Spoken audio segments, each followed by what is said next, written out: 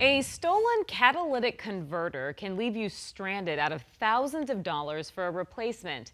And a recent report from State Farm found that thefts are up more than a thousand percent in the last two years.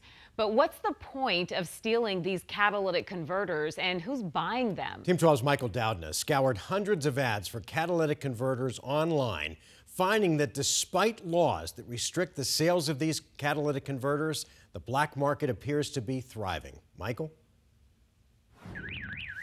Daily multiple times a day. From YMCA's to driveways.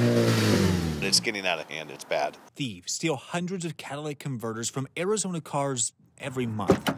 But where do they all go? And that's a really good question because the fact is we just honestly don't know exactly where they're going. Many used to be online on places like Facebook and OfferUp, but Detective Adam Populaire says many criminals are operating offline, making deals through black market connections. You know, you hear people throw out terms like black market sales.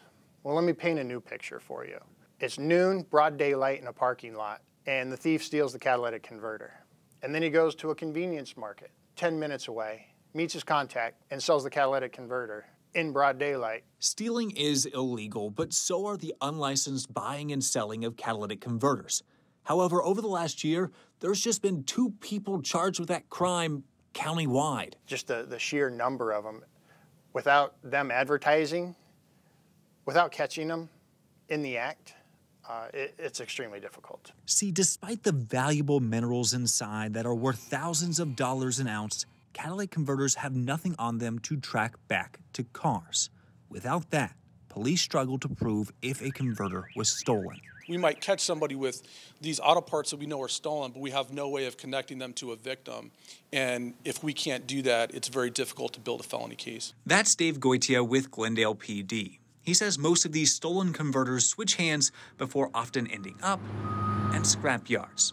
And scrap yards are legally allowed to buy and sell converters to legally licensed operators. And there are laws that, that, regulate the scrap yards, but we found that some of them will operate outside of the law. And right now, the punishment for buying or selling outside of the law is just a misdemeanor, often just a fine for a product that can be worth thousands.